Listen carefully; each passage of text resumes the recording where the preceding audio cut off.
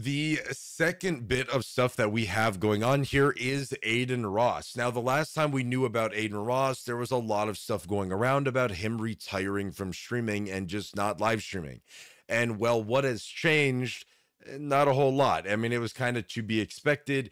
Adin Ross has returned to live streaming, and there is a little clip here of him talking about Kick. And let's have a little listen to him talking about Kick here for a second, which again, keep in mind, I mean, a lot of this is publicity stunts. I mean, saying that you're retiring, uh, he's not gonna, he's not retiring anytime soon. There's no way he's doing that. So it's simply just to give him more attention, and it works very, very well. However, one of the first things that happens when he comes back is this right here.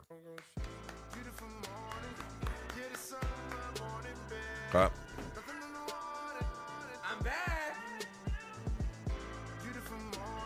Hang on. Hold on. All right, all right, all right, all right, all right. Yeah, this kick chat. So this is right right off the bat. Okay, right off the bat. First thing that he says on the stream here basically, okay? Yeah, this kick chat is in fucking shambles. I already broke the platform. The shitty ass platform, bro. I'm going back to Twitch. I can't. Look how laggy this shit is, bro. Why the fuck is the chat already breaking, bro? Like, bro, shitty ass fucking platform. I've been gone for a week and this shit is still ass. Oh, I ain't gonna lie, chat. We back out of Twitch. I ain't gonna lie.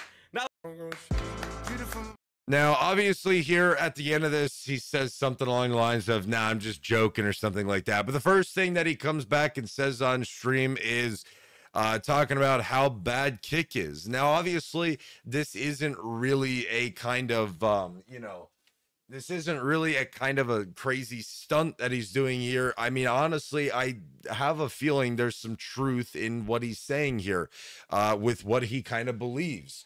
And again, talking about the platform that he has partial equity in, instantly coming back off of a return from the drama about him retiring. And he's not retiring, but it's just that's social media for you and it just instantly talks about how bad kick is and a couple people um you know responded to it and there's a there's a bunch of different people mentioning like hey kick creators how do you feel about one of the owners or whatever saying this about the platform and ultimately yeah it's not really a good look i mean he's joking on he's talking about how bad kick is just a lot of issues and that he's you know thinking about going to twitch and stuff uh, yeah, I, I don't I don't think so. Now, there's a couple different. There's more to this here.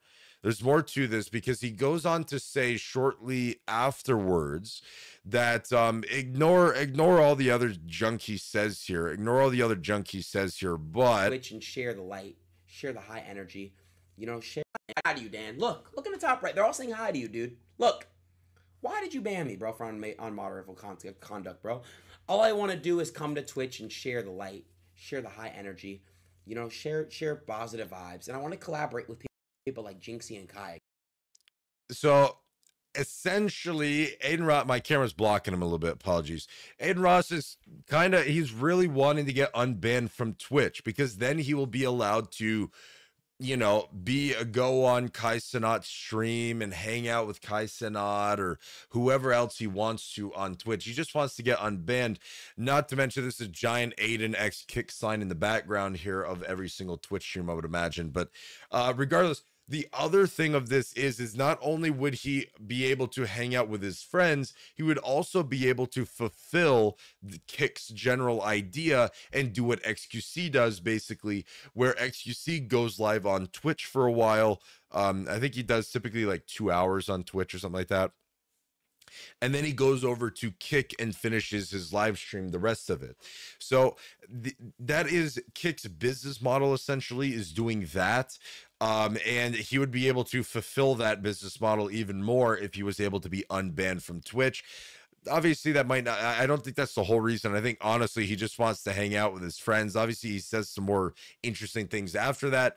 Don't really care um you know all that other stuff is just him doing his normal junk but um ultimately it seems like he kind of wants to get unbanned from twitch so that he can kind of uh live stream with his friends over there um, and not have to worry about getting them banned or anything. Because I mean, somebody like Kai Cenat literally can't have them come and collaborate on stream. He can't show them on stream because they will get in trouble. Even after Twitch's latest rule changes, where the latest rule changes uh, state that you can technically watch content for somebody who's banned. So Adin or uh, Kai Cenat would be able to watch this clip right here and not get in trouble.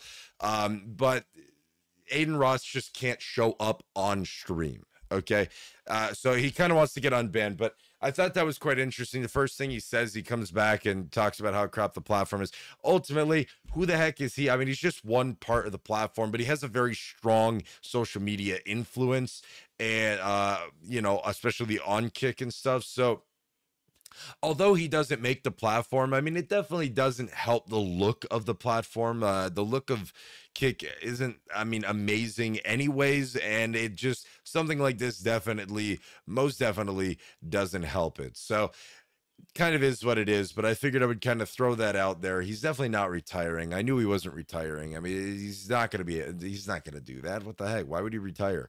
Um, so there you go, right? Marketing ploy.